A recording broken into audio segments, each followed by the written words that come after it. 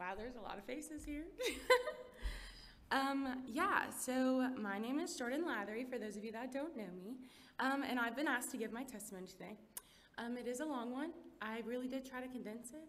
Um, and I also took multiple public speaking courses from high school and college, but I still tend to talk really fast when I'm nervous. So my husband's gonna give me the to slow down. I give him the speed it up. He gives me the slow down. Um, I'm also gonna try not to cry, but I, I might. Okay. So my story actually starts when I was born. I was born at Christ Hospital, um, where they diagnosed me with a heart murmur.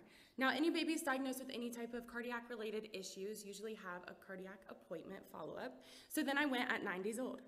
Um, normally, when babies are born, they can have an opening in their arterius ductus. Please do not ask me what that is. I don't know. um, but it will usually close on its own. Mine, however, did not. And it sounds bad, but it was actually the Lord protecting me because if it had closed, I would have had severe brain damage from the loss of oxygen. Um, I was immediately scheduled for open heart surgery where they did a temporary fix called a pulmonary trunk patch. They told my mom that it could work for like 10 minutes or the rest of my life. They really had no idea. Um, one week later, they called my mom after they had their annual um, round table meeting, the whole cardiac floor at Children's meets. And that's when my mom asked the lead doctor, if this was your daughter or granddaughter, what would you do?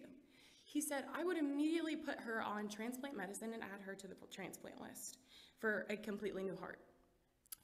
Um, they also suggested um, that I could get a mechanical valve as an option, but that also meant that I would have multiple surgeries as I grew to replace the smaller parts with bigger parts. Um, my mom, knowing this, um, didn't know what to do, and after she got off the phone with them, she immediately called my Aunt Diana, um, who, oh man, I love my Aunt Diana. Oh goodness. Um, she prayed and read scripture all night long. Um, to everyone's surprise, though, my mom told the doctors no on everything. Uh, she said either God will heal her by taking her with him into heaven, or he'll let me have her. And he healed me. Um, thankfully, almost every checkup has been perfect. We've had a couple scares, but I'm still here, so. Um, my life wasn't perfect. Hmm. When I was a toddler,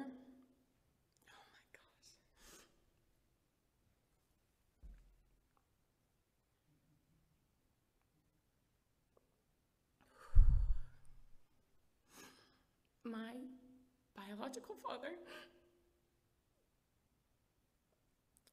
Um, oh, I did not know I was going to cry. I did, but I was hoping I wasn't going to. Um, he left. Um, the last decent memory I have of him, I was around the age of four or five.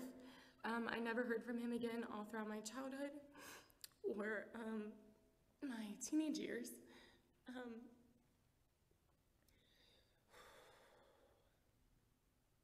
every once in a while, we would get a, a sum of money because family services found out that he had a job. Um, but as soon as he figured out that he was not getting a check, he would leave and go to somewhere else. Um, so that created a lot of resentment in me towards him. And not only did he completely abandon his wife, his two stepdaughters, and his biological daughter, um, he decided that he was not going to help with any of my medical bills or schooling or extracurriculars growing up. He was like I didn't exist anymore. Um, however, I was blessed. Um, the Lord gave me my dad, Scott, um, and he did step up to become my earthly dad, whom I love and cherish dearly. There's still nothing like an emptiness knowing your own biological father did not care about you. Um, I never really realized how much it had affected me until I reached my teen years. I went from boyfriend to boyfriend and eventually got with someone who liked to party and drink and smoke weed. Um, that became my weekend normal.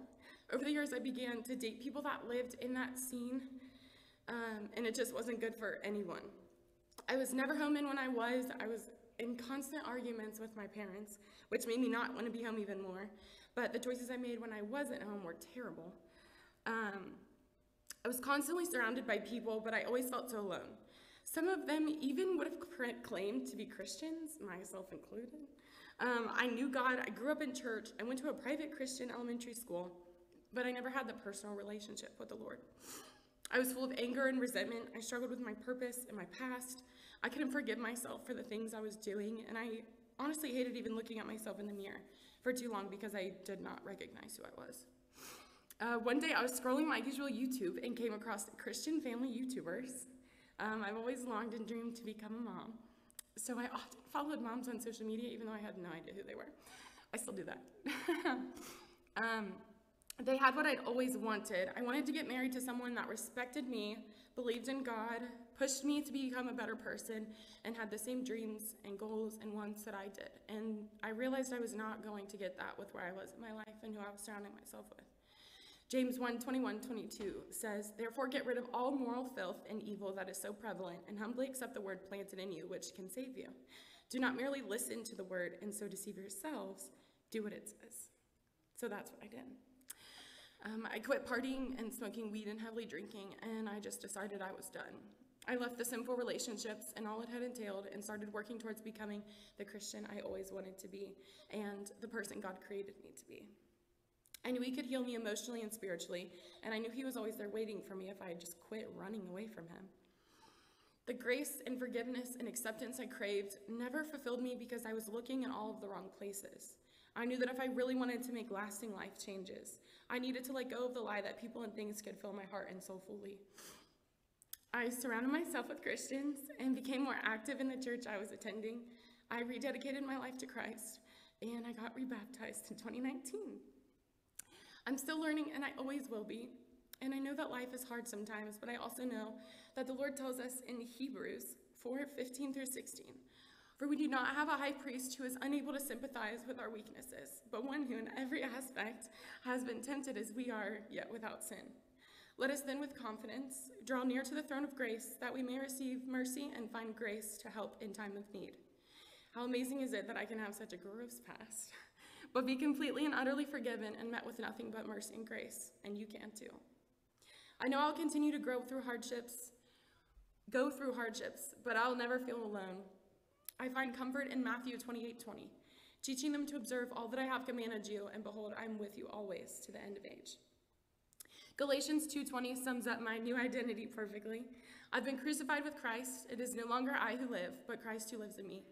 In the life I now live in the flesh, I live by faith in the Son of God, who loved me and gave himself for me. I hope today hearing my story has helped you in some way, and I pray that you know God is always there waiting for you. Satan's power over us is nothing compared to the free promises of God.